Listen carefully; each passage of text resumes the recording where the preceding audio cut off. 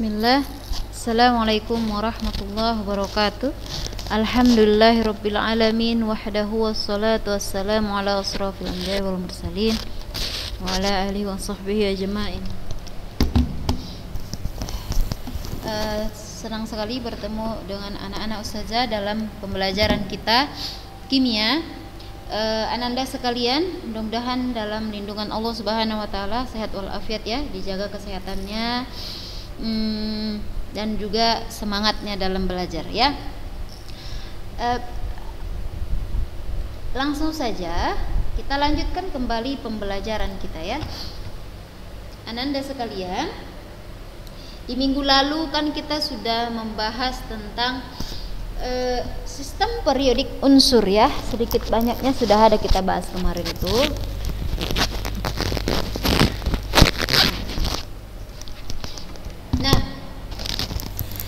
Sekarang kita lanjutkan lagi. Ini kemarin sudah tentang golongan golongan itu ada golongan utama, ada golongan tambahan ya, di mana dia itu adalah golongan transisi dan juga golongan transisi dalam, ya kan? Nah, e, nama-nama lainnya juga ada golongan 1A dikatakan alkali, 2A alkali tanah, 3A itu adalah golongan e, boron atau golongan aluminium sama ya. Jadi anak-anak saja jangan terkecoh gitu. Jadi kalaupun dia bilang e, ada kemarin yang bertanya saja aluminium dan boron itu sama tidak. Jadi maksudnya mereka ada pada golongan yang sama. Jadi e, seringnya itu memang dikatakan golongan 3A itu adalah golongan boron atau golongan aluminium juga ada yang mengatakannya. Dan ber, be, begitu seterusnya. Nah, e, ini pertanyaan berikutnya juga mengkait dengan penentuan golongan dan periode di uh, golongan transisi. Ya kan? Pada golongan transisi itu maksudnya Ustazah apa? D, 7, 6, 7, 8 yang kayak gitu kan.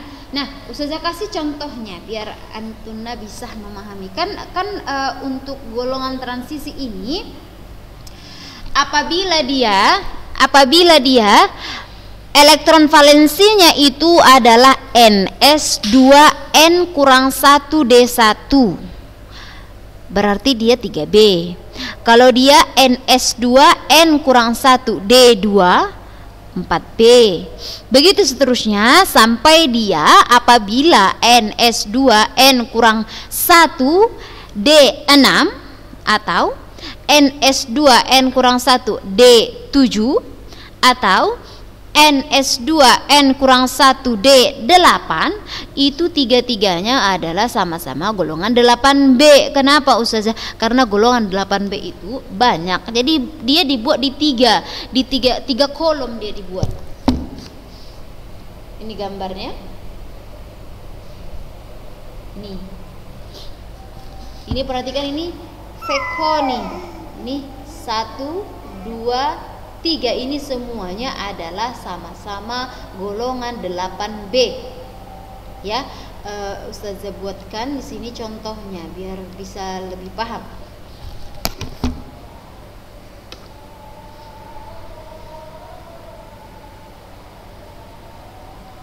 Tadi itu kan apabila dia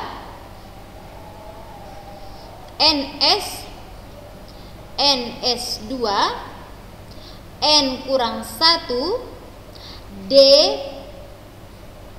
eh, 6 atau NS2 N kurang 1 D 7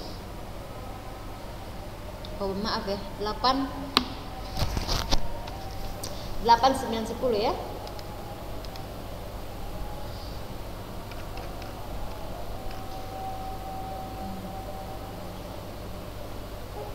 6 7 8 ya. 6 7 dan juga 8 N S 2 N kurang 1 ini 8 udah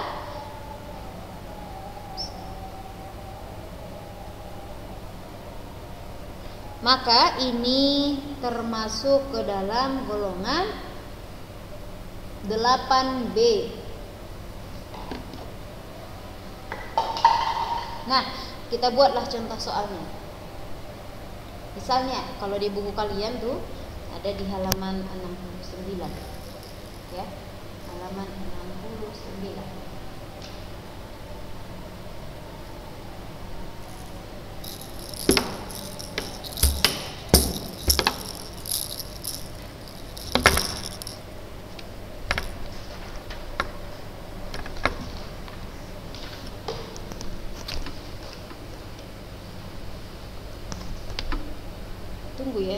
Ustazah agak slide kita kayaknya bermasalah ini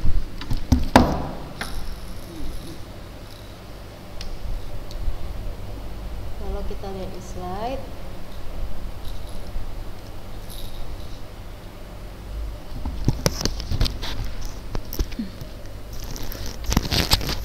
Nah, ini dia. Ini ini sepertinya salah ini ya anak-anak saja ya. Hah? Iya, bukan begitu, bukan segitu dia. Harusnya adalah yang termasuk golongan 8 yang ma yang masuk ke dalam golongan 8 itu adalah oh ya NS. Oh ya, udah betul kok, udah betul. Kalau penjumlahannya 8 berarti 2 tambah 6, iya benar. Eh, lalu oh, 9 tambah 2 eh, 7. Iya, udah betul, udah betul lepas. Oke udahlah kita lanjutlah dulu.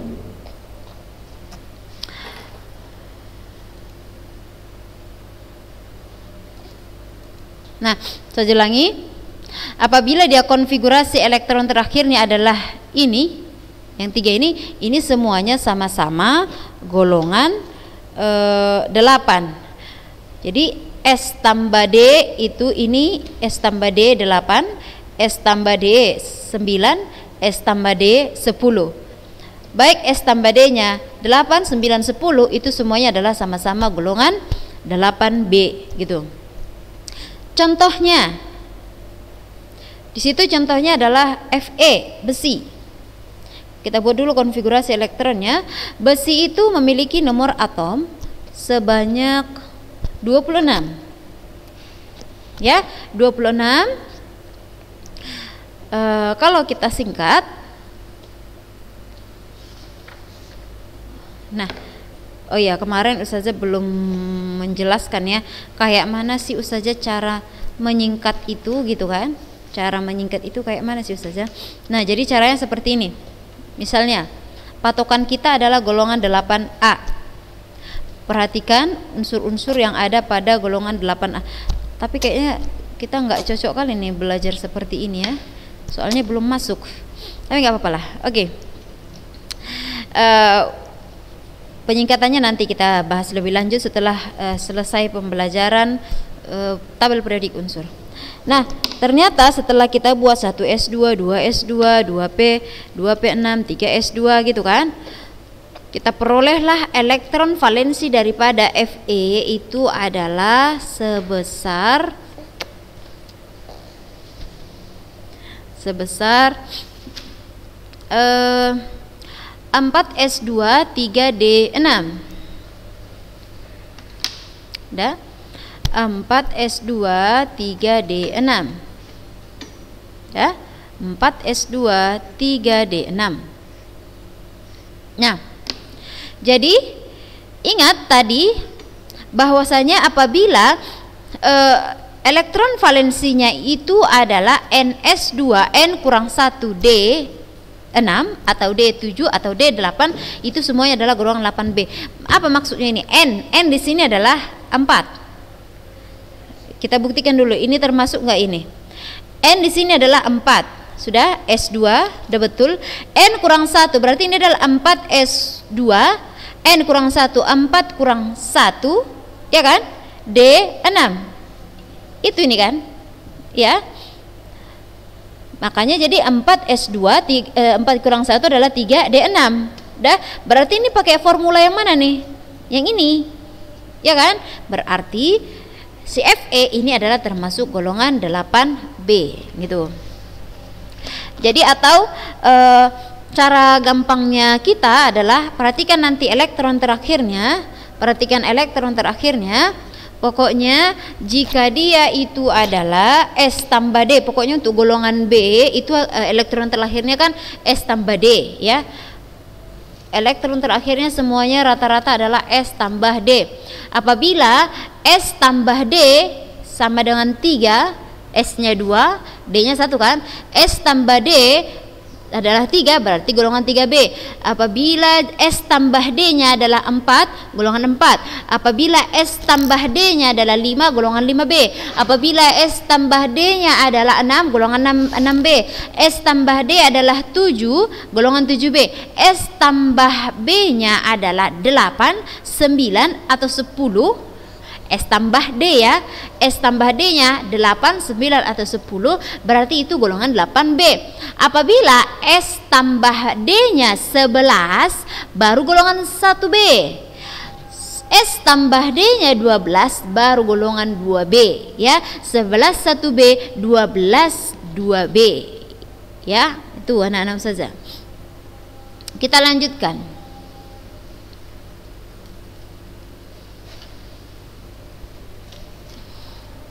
Nah, ini sifat unsur dan sifat keperiodikan unsur. Ada beberapa sifat unsur dalam sistem periodik, ya, e, seperti yang ada di e, gambar yang di depan kalian. Ada namanya e, apa namanya tuh? Ada namanya energi ionisasi, elektro ini elektronegativitas. Uh, jari-jari atom, apalagi afinitas elektron, uh, sifat logamnya dan lain-lain sebagainya. Ini ini sebenarnya udah mencakup ini, udah mencakup udah mencakup ringkasan dari semuanya. Tapi nantilah setelah kita bahas dulu baru kita artikan tanda-tanda panah ini. Kita bahas yang pertama adalah sifat-sifat unsur dalam periodikan. Yang pertama adalah sifat logam. Seperti pembahasan di awal unsur-unsur itu kan ada dia logam ada non logam kalau pada tabel-tabel SPU kalian nanti ada berbeda-beda di warnanya. Ada dibuatnya warna orange, ada banyak warna merahnya, ada warna hijau gitu kan. Dalam satu golongan dari atas ke bawah sifat logamnya akan semakin bertambah. Kalau di sini di tabel periodik ini yang warna ungu adalah ini yang ungu itu adalah metal. Metals itu artinya logam. Sudah? Yang warna biru, yang warna ini lebih biru dia itu juga uh, logam pada golongan transisi. Sudah? Lalu kalau dia warnanya adalah warna hijau, pokoknya ini ini ungu, ini yang ini, yang ini, ini semuanya adalah logam. Cuman kan dia membedakan warnanya karena posisinya berbeda aja. Ini yang ungu ini, yang biru ini, yang abu-abu ini, ini semuanya adalah logam. Adapun warna hijau ini boron, silikon, germanium, astatin, uh, uh, uh, bismut dan juga uh, tellurium, uh, bukan timbel ya timbel. Ini yang hijau ini ini adalah metaloid. Apa itu metaloid? Metaloid itu adalah senya oh, unsur yang sifatnya itu logam seperti logam dan seperti non logam kayak banci dia gitu. Dia punya sifat logam tapi juga punya sifat non logam gitu. Antara logam dan non logam gitu dia. Adapun yang warnanya kuning ini ini adalah non logam non logamnya itu bisa cair ataupun gas gitu. Kalau dia yang logam ini dia sudah pasti padat wujudnya wujud ya wujudnya padat. Namun ada satu unsur yang dia logam tapi dia tidak padat. Apa itu? Siapakah itu? Si? Ini dia. Hg raksa. Raksa itu kayak yang ada termometer itu dia logam. Termasuk senyawa logam. Akan tetapi dia wujudnya tidak padat. Satu-satunya nih logam. Eh, logam yang tidak padat. Jadi sifat logam kan udah tahu kalian yang mana logam tadi ya? Yang logam itu adalah yang ini yang warna ungu warna biru warna abu-abu. Yang lainnya non logam yang hijau metaloid. Yang uh, kuning ini adalah non logam jadi samakan aja nanti di uh, eh, SPU kalian mungkin di SPU kalian warnanya berbeda-beda. Sifat logam dan non logam dalam satu golongan, maksudnya dalam satu golongan ini satu golongan, satu A misalnya. Dalam satu golongan dari atas ke bawah sifat logam itu bertambah. Artinya misalnya kalau disurutkan litium, natrium, siapa lebih di bawah? Natrium kan? Siapa yang sifat logamnya lebih besar berarti si natrium.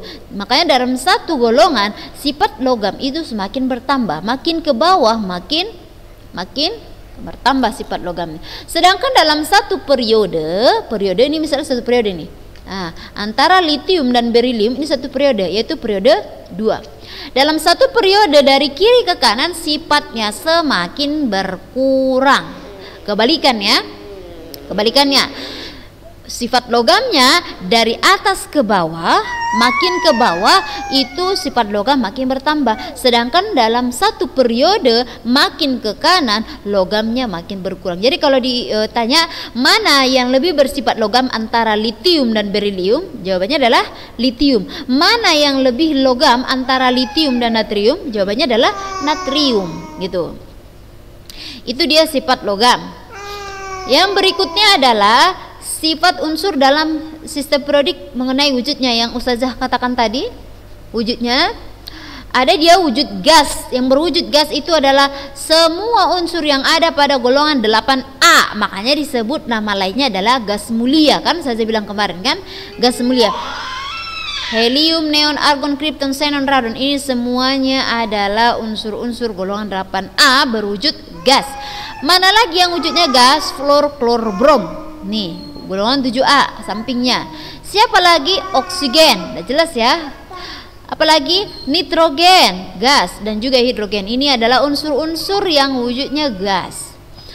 Lalu yang cair siapa? Brom dan Hg. Apa tadi saya bilang Hg? Raksa kan? Padahal tadi dia adalah apa tadi dia? Padahal dia itu adalah yang uh, logam, akan tetapi dia berwujud cair. Berikutnya, selain daripada si gas dan cair ini, semuanya solid elemen, yaitu berwujud padat. Gitu.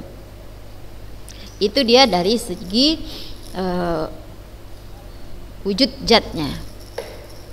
Nah, kita lanjutkan kemiripan. Kemiripan sifat unsur-unsur dalam satu golongan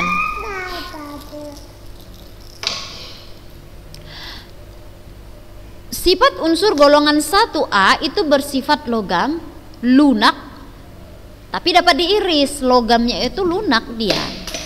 Bisa diiris, ringan dan juga reaktif terhadap air. Apa itu ustazah reaktif? Reaktif itu maksudnya adalah mudah bereaksi. Jadi kalau anti mengenai air ke logam golongan 1A misalnya natrium itu meledak itu. Wah, bisa meledak. Jadi nggak boleh. Jadi nggak boleh natrium logam natrium murni ya ananda sekalian ya.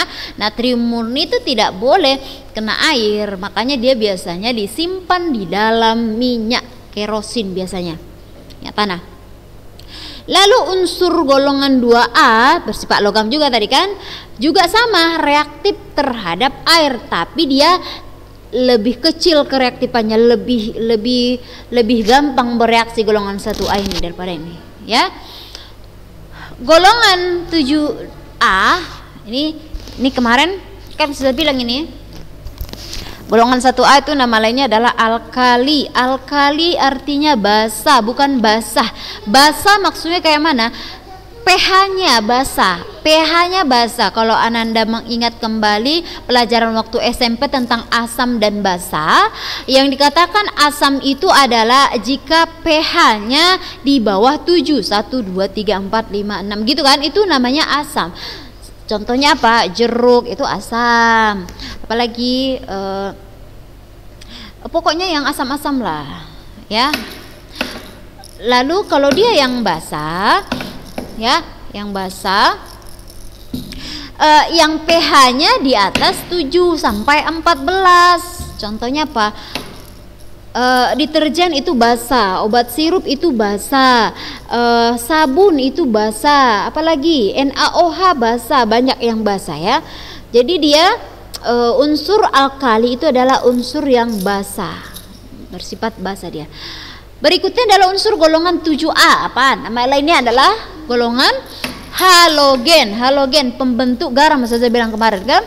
Sifatnya non logam merupakan molekul diatomik beracun, berwarna reaktif terhadap golongan 1A. Itu yang saya bilang bahwa golongan 7A itu adalah pembentuk garam terkhusus dengan golongan logam 1A. Adapun sifatnya adalah non logam, wujudnya uh, untuk golongan 8 ya non logam monoatomik. Ini perbedaannya antara 7A dan 8A kalau dia 7A dia berbentuk gas diatomik. Apa maksudnya diatomik ustazah? Maksudnya adalah ah begini. Kalau dia golongan 7A misalnya fluor dia wujud gasnya adalah dalam bentuk diatomik F2 gitu. Klor Cl2 brom Br2 ini namanya diatomik sedangkan kalau dia golongan 8A dia itu molekul gasnya adalah monoatomik misalnya helium helium aja tidak akan pernah dijumpai He2 enggak ada. Neon neon aja udah. Gasnya neon dah Krypton, KR, udah seperti saja tidak ada dia e, bersenyawa dengan yang lain karena dia adalah sudah unsur gas mulia.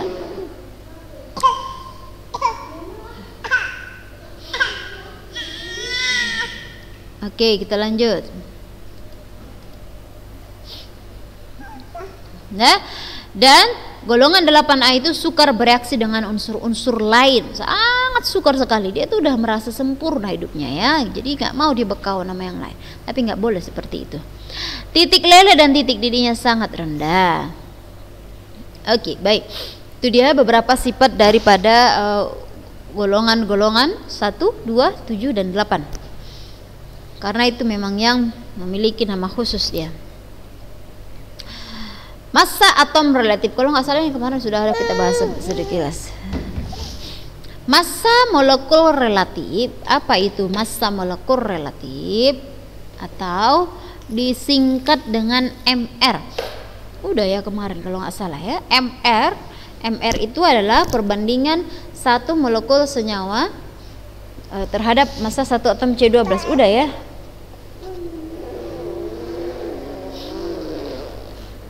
Nah, inilah dia kita. Sifat keperiodikan unsur.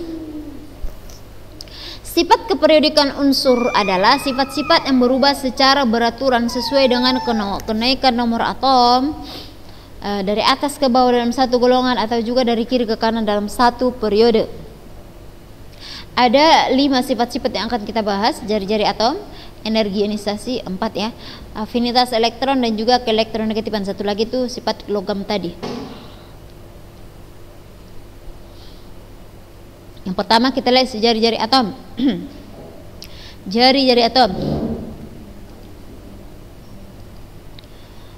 Jari-jari ya, namanya jari-jari ya. Lingkaran. Jadi kan e, atom itu kan e, dari teori-teori yang sudah kita bahas ada yang mengatakan bulat. Hmm, pokoknya intinya adalah dia bulat mau dia itu bulatnya tidak beraturan uh, tidak nampak nggak bisa ditentukan mana uh, proton elektron neutronnya. Pokoknya intinya adalah berbentuk bulat lah gitu kan. Kalau dia udah bulat berarti udah adalah jari-jarinya. Jadi jari-jari atom itu adalah jarak dari inti atom sampai kulit yang paling terluar. Sama lah. Dalam satu golongan dari atas ke bawah ini dari atas ke bawah dalam satu golongan Jari-jari atom semakin besar. Perhatikan ini. Hidrogen ini dia kecil. Litium segini ukurannya. Natrium makin ke bawah kan makin besar ukurannya. Kalau makin besar ukurannya pasti jari-jarinya makin besar, iya kan? Nah, jadi makanya dalam satu golongan jari-jari atom dari atas ke bawah semakin besar. Sedangkan dalam satu periode, perhatikan ini, dalam satu periode dari kiri ke kanan nih dari kiri ke kanan perhatikan ukurannya nih. Tim berlium ini ha. Makin kecil kan? Dari kiri ke kanan makin kecil. Nah itu yang pertama saya ulangi, untuk jari-jari atom dalam satu golongan dari atas ke bawah, jari-jari atom semakin besar, sedangkan dalam satu periode dari kiri ke kanan semakin kecil. Jadi kalau ustazah uh, balikkan lagi seperti yang tadi, uh, antara unsur litium dan juga kalium mana jari-jarinya lebih besar? Jelas ya, kalium. Ini jangan karena saja ada gambarnya di sini ya, kalau nanti uh, unsurnya yang dikasih, dikasih tahu antara litium dan juga nitrogen kan satu periode ini ya kalau nanti mau membandingkan antara ini dengan ini eh, bandingkan yang seperiode apa segolongan antara litium dan juga nitrogen siapa lebih besar jari-jarinya ya sih litium gitu Berikutnya adalah sifat yang namanya energi ionisasi. Apa itu ustazah energi ionisasi? Coba lihat tuh. Energi ionisasi itu adalah energi minimum yang diperlukan oleh atom netral berwujud gas untuk melepaskan elektron terluarnya.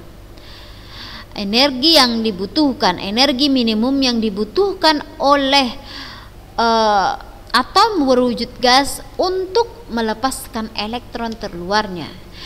Jadi, dalam satu golongan dari atas ke bawah energi ionisasi semakin kecil, sedangkan ke kanan semakin bertambah. Kebalikan dari ini, tadi. Kalau jari-jari atom tadi dia dari atas ke bawah bertambah, dari kiri ke kanan berkurang, ya kan? Kebalikannya, kalau dia energi ionisasi dari atas ke bawah berkurang, dari kiri ke kanan bertambah. Ingat ya, satu jari-jari atom itu kebalikan dari energi ionisasi. Itu yang pertama. Berikutnya juga afinitas elektron. Afinitas itu apa Ustazah? Afinitas itu adalah besarnya energi yang dibebaskan.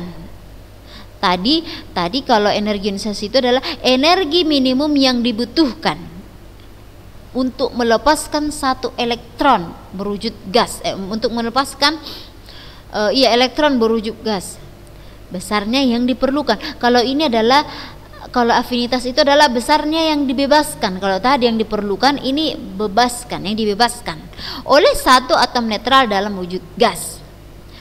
Jadi kesimpulannya semakin besar energi yang dilepaskan suatu atom semakin mudah atom tersebut menangkap elektron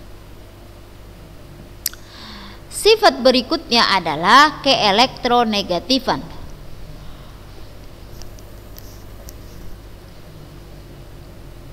Apa pula itu keelektronegatifan Ustazah? Yang dikatakan dengan keelektronegatifan itu adalah kecenderungan suatu unsur untuk menarik elektron sehingga bermuatan negatif. Kecenderungannya. Dalam satu golongan dari atas ke bawah, dah itu dia keelektronegatifannya makin kecil. Ingat, ini juga kebalikan dari jari-jari atom. Kalau jari-jari atom tadi kan dari atas ke bawah dalam satu golongan makin besar kan? Kalau keelektronegatifan, afinitas elektron, energi ionisasi itu kebalikan dari jari-jari atom. Dalam satu golongan dari atas ke bawah semakin berkurang. Sedangkan dalam satu periode dari kiri ke kanan semakin bertambah kecuali golongan 8A karena golongan 8A itu tidak bisa menarik elektron, nggak bisa, dia udah netral. Makanya di sini tanda bintang-bintang dia nggak ada.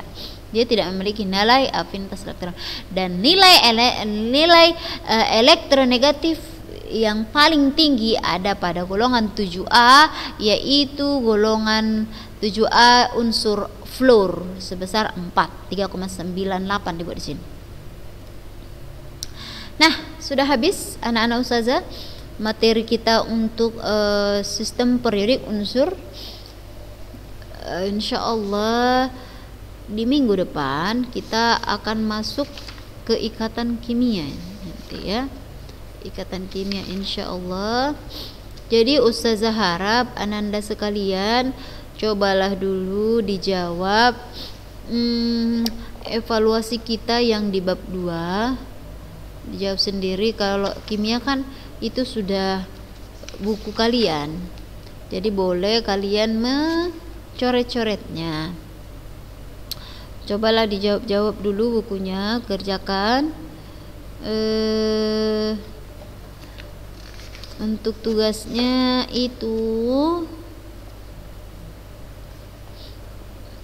hmm, kita buat tugas saja lah biar kalian tuh tidak sepele ya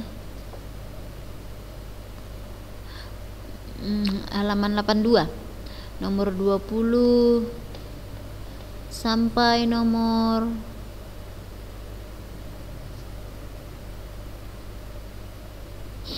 hmm, sampai nomor 30 aja. Orang pilihan berganda kok. Ya 20 sampai 30 oke baik. Oh iya saja menyimpulkan yang tadi. Gambarnya mana dia tuh eh inilah dia. Tadi kan saya sudah bilang bahwa uh, Jari-jari atom dari kiri ke kanan semakin bertambah, dari ki, uh, dari kiri ke kanan semakin bertambah, sedangkan dari uh, maaf dari atas ke bawah bertambah. Ini kan atomic radius katanya jari-jari atom maksudnya ini. Dari kiri ke kanan itu bertambah aduh maaf dulu dari atas ke bawah bertambah dari kiri ke kanan berkurang. Ini lawannya dibuatnya ya. Dari kanan ke kiri bertambah juga atau kiri ke kanan uh, berkurang gitu maksudnya. Lalu energi ionisasi ionization enthalpy ini. Energi ionisasi kan lawannya nih. Lawannya nih ha. Energi ionisasi dari kiri ke kanan tuh bertambah. Nih energi ionisasinya dari atas ke bawah berkurang. Dah elektronegatif elektronegativitas dari atas ke bawah berkurang ya kan? Atau dari atas dari bawah ke atas baru bertambah. Ini kebalikannya dibuatnya. Dari kiri ke kanan baru bertambah. Jadi eh, eh, jari-jari uh, atom itu kebalikan dari sifat-sifat yang lainnya itu yang uh, kita bahas ada berapa tadi? Ada empat ya ada jari-jari atom, elektronegativitas, afinitas elektron dan energi ionisasi itu kebalikan dari atom radius atau jari-jari atom. Demikian barakallahu fikun. Mudah-mudahan berkah ya anak-anak ustazah. Uh, yang kita pelajari hari ini jika ada pertanyaan oh, ustazah uh, silakan dijapri tapi bersabar ya kalau agak lama dijawab insyaallah saya jawab Demikian kita tutup dengan doa kafaratul majlis. Subhanakallahumma bihamdika asyhadu an la ilaha illa ant astaghfiruka wa atubu ilaik. Assalamualaikum warahmatullahi wabarakatuh.